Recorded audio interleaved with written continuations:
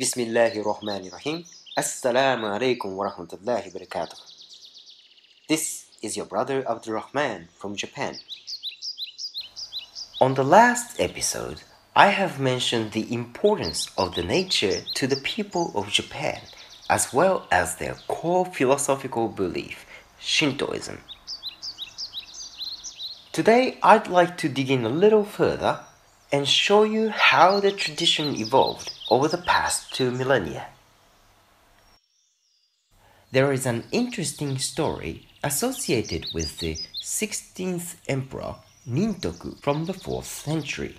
One day, as he looked out from his palace, he realized there were no smoke coming out of the any chimneys of the houses of his people.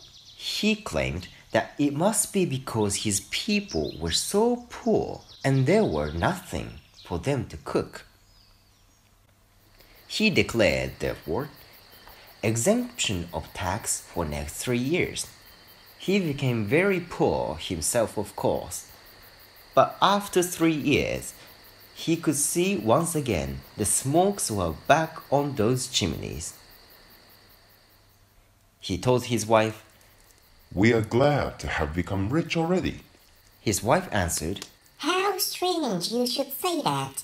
Our palace is falling apart.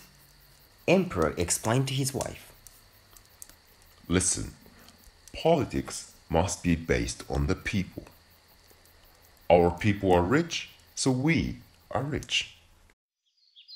Delighted with the success, the emperor has extended the exemption for three more years, by which time his people were volunteering to repair his palace.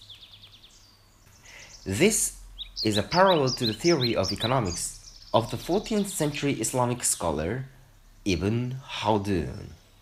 Indeed, Allah subhanahu wa ta'ala has sent messengers to every nation. Around the 6th century, Buddhism were introduced to Japan.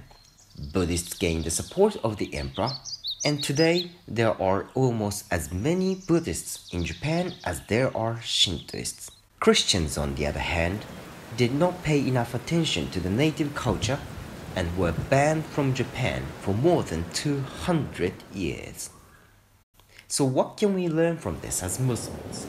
First of all, learn from what works in Japan.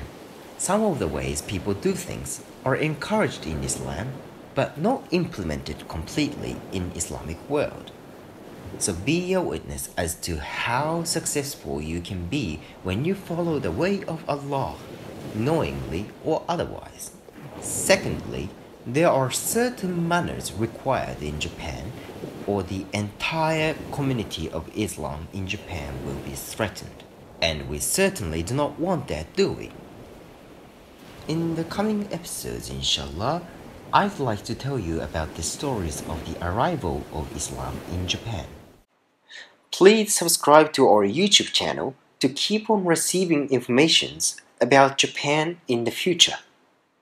جزاك الله خيرا والسلام عليكم ورحمة الله وبركاته